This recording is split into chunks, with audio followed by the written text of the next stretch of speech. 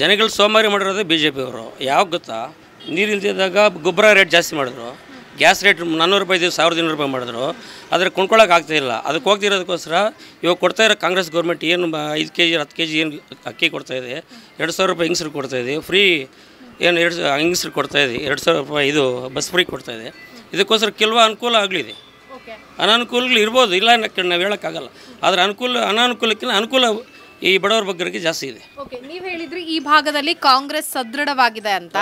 So ಎಲ್ಲೋ ಒಂದು ಕಡೆ ಕಾಂಗ್ರೆಸ್ ಎಂ ಎಲ್ ಎ ಇಲ್ಲಿರೋದ್ರಿಂದ ಪ್ಲಸ್ ಪಾಯಿಂಟ್ ಆಗುತ್ತೆ ಅಂತಾನ ಹೇಗೆ?